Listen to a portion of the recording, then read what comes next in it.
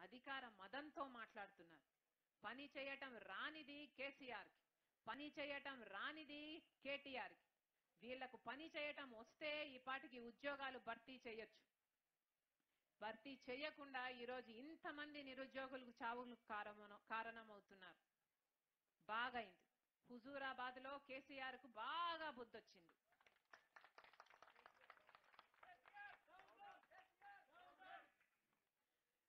హుజూరాబాద్లో బుద్ధొచ్చిందా KCR sir? అడగండి అందరూ అడగండి. తెలంగాణ ప్రజలు బానిసలు కాదు అని అర్థమైందా? తెలంగాణ ప్రజలు ఉద్యమకారులు అని అర్థమైందా? బుద్ధొచ్చిందా కేసీఆర్ సారు? మీ డబ్బులు పని చేయవని అర్థమైందా కేసీఆర్ సారు? వందల కోట్లు ఖర్చు పెడితే చెంపకు చెల్లుమని కనిపించారు హుజూరాబాద్ ప్రజలు కేసీఆర్ బుద్ధొచ్చిందా కేసీఆర్ గారు? రైతు బంధు అన్నాడు. ఎంత మందిని మోసం చేశాడు ఎన్ని మోసాలు చేశాడు దళితులని. దళిత ముఖ్యమంత్రి అన్నాడు. దళిత ఉప ముఖ్యమంత్రి అన్నాడు. మూడెకరాల భూమి అన్నాడు. డబుల్ బెడ్రూమ్ ఇల్లు అన్నారు. పిట్ట దొర పిట్టల దొర అన్ని కథలు చెప్పాక ఇవేవి నమ్మకపోతే దళిత బంధు అని కూడా అన్నారు. నమ్మారా ప్రజలు? నమ్మారా ప్రజలు? బుద్ధొచ్చిందా కేసీఆర్ సారు? కేసీఆర్ సార్ని అడగండి. బుద్ధొచ్చిందా కేసీఆర్ సారు? వందల కోట్లు ఖర్చు పెట్టినా ఓడిపోయింది టిఆర్ఎస్ పార్టీ.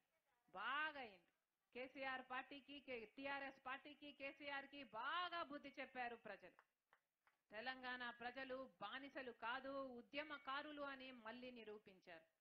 ఎంతమంది నిరుద్యోగులు ఫీల్డ్ అసిస్టెంట్లు బై ఎలక్షన్కు నామినేషన్ వేయకపోతే వాళ్ళందరినీ పోలీసుల చేత వెళ్ళగొట్టించాడు.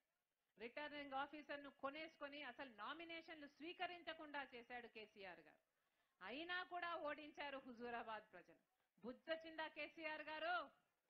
సీఎం గారు బుద్ధొచ్చిందా? అడగండి. CM sir బుద్ధొచ్చిందా?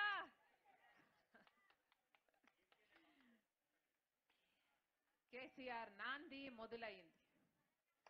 మేము తెలంగాణలో పార్టీ పెట్టిన రోజే కేసీఆర్ పతనము మొదలైంది.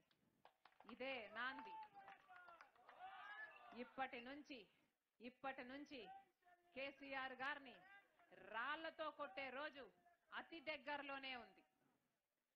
మళ్ళీ మళ్ళీ చెప్తున్నాం మోసపోకండి.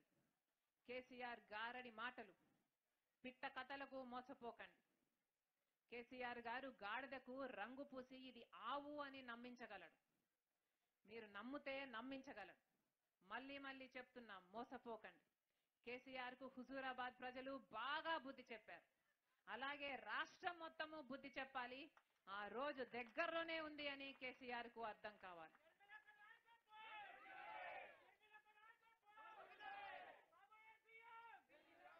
మళ్ళీ చెప్తున్నాం మళ్ళీ చెప్తున్నాం. నిరుద్యోగుల కోసం మేము ప్రతి మంగళవారం దీక్ష చేస్తున్నాం.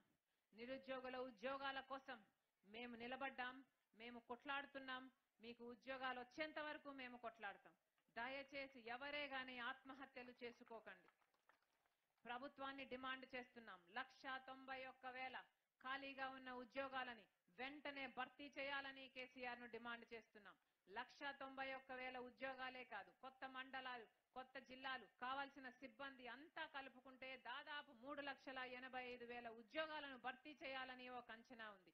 అన్ని ఉద్యోగాలను భర్తీ చేయాలని కేసీఆర్ను డిమాండ్ చేస్తున్నాం.